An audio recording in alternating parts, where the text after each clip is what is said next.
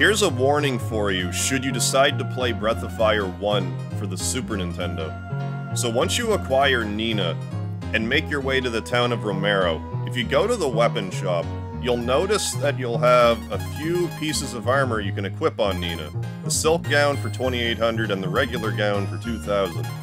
You'll notice the silk gown in this instance will take her defense up to 44, but the 800 gold cheaper gown will take your defense up to 47. Do not let this fool you. The game does not tell you that this gown armor will make your random encounters happen 16 times more frequently. Which is great if you're trying to grind and know that's what it does. But if you didn't know what it does, you're gonna really be wondering why the random encounters in this game are so ungodly high.